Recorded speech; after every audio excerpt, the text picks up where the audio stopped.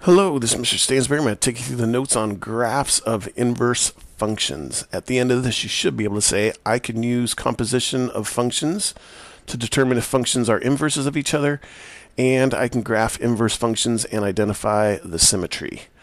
All right, so let's start off. If two functions are inverses of each other, f and f prime, we'll call them, then the composition of functions f times um, f of f prime of x should equal x, and also f prime of f of x should also equal x. Okay?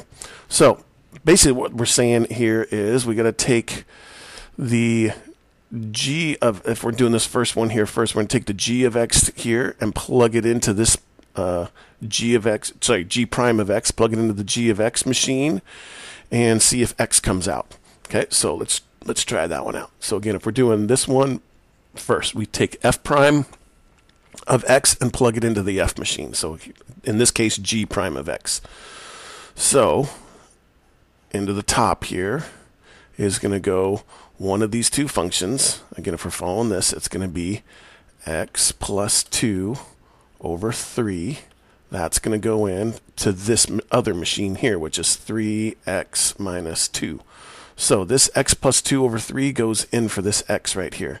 So we go 3 times x plus 2 over 3 minus 2, right?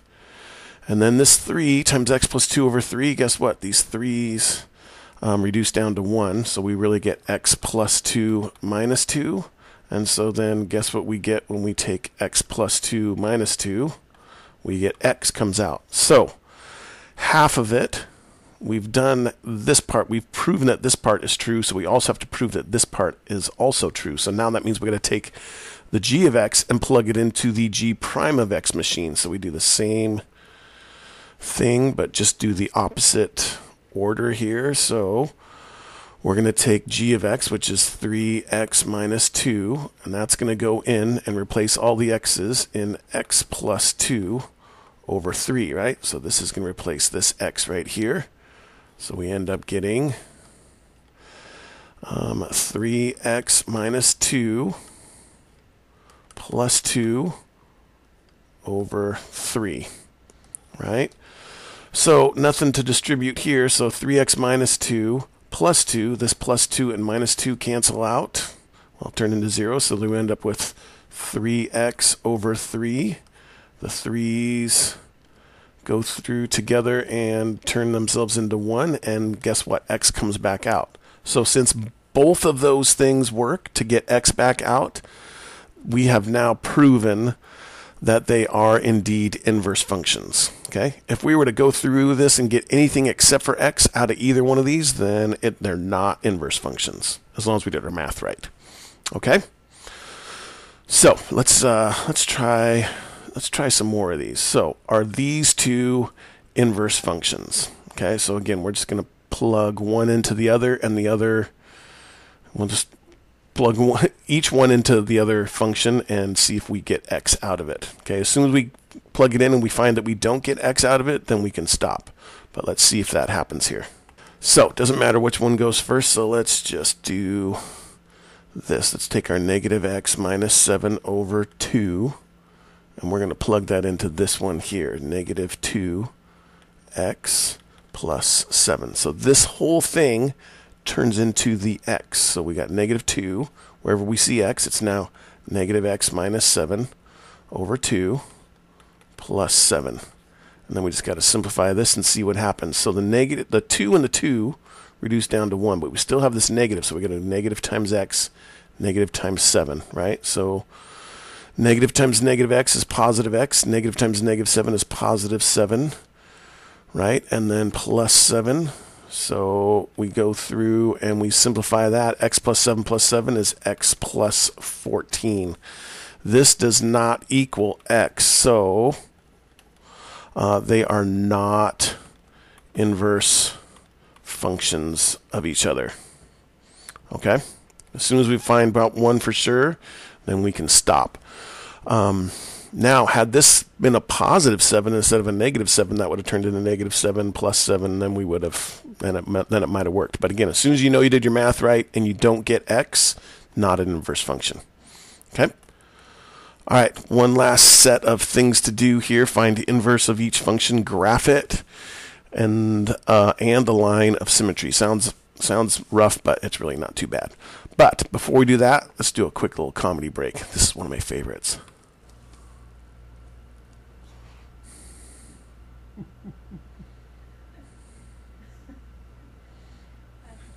Oh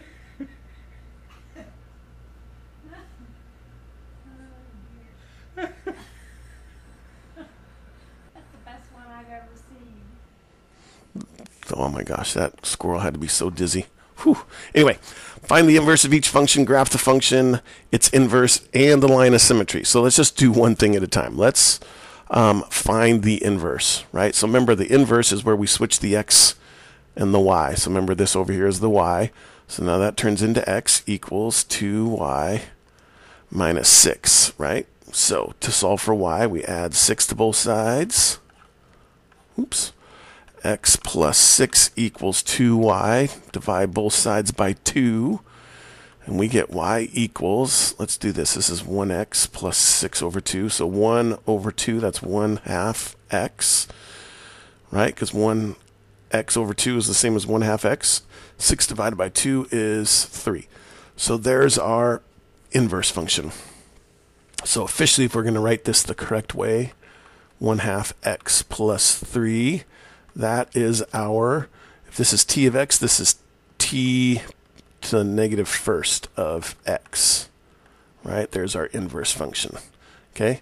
Now it says we want to graph the function, its inverse, and the line of symmetry. So let's do this. Let's do the inverse, which is what we just found in blue. So plus 3 um, and then we've got up 1 over 2, up 1 over 2, right? So that gives us enough to kind of get us a good line. So try to make your line as best you can right through the middle there.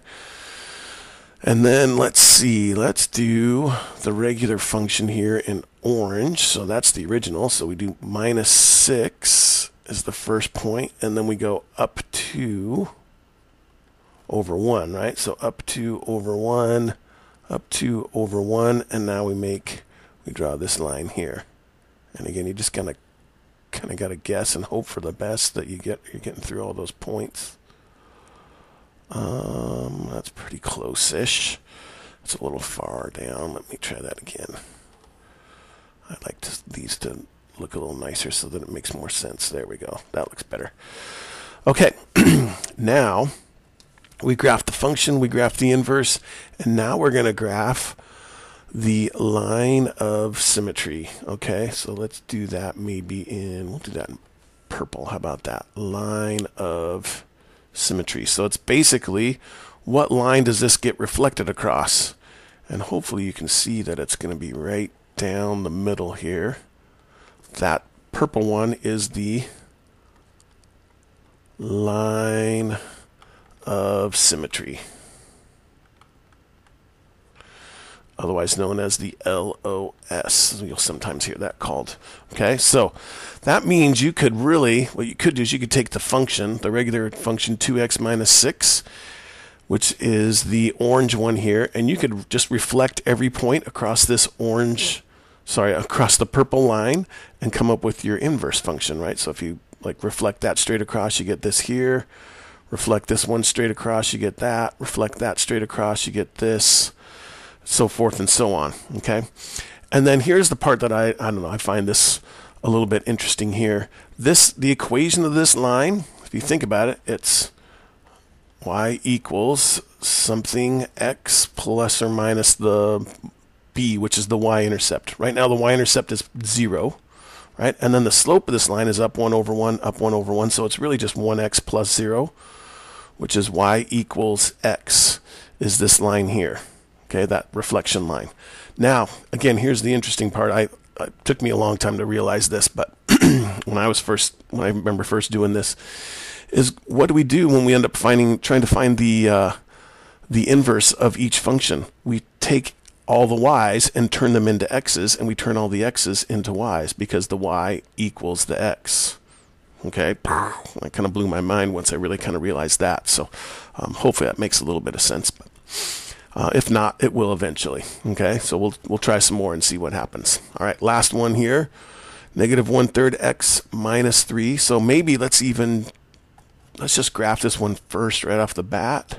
Plus three and then it's negative 1 over 3. So down 1 over 3, down 1 over 3, and so forth and so on. So we go to graph that, and we get something like that-ish. All right, and then now we're going to do the inverse. So this is going to be x equals negative 1 third y plus 3. Subtract 3 from both sides x minus 3 equals negative 1 third y. So really we're going to want to divide both sides by negative 1 third, or probably the easier way to do that is to actually multiply by negative 3, the whole thing, right? Because if we multiply negative 1 third times negative 3, that's going to give us plain old y, right? So negative 3 times x is negative 3x. Negative 3 times negative 3 is plus 9. Okay, so let's graph this thing and see what we get. So we're starting up here at plus 9. And then we got to go down 3 over 1. Down 3 more over 1. And so forth and so on, right? So when we go to graph this thing here, we get roughly that. And then if we draw our line of symmetry, which we know is going to have to be y equals x, that should split right through the middle, and it looks like it does. So I'm feeling pretty good about our um, about our answer there. There's our inverse function. Again, if we were to write the correct notation, it would be r to the negative first of x equals negative 3x plus 9. That's the inverse function. Okay? Okay. Uh, that's all we have for the uh, 6-2 notes. If you have any further questions, please feel free to ask. Thanks.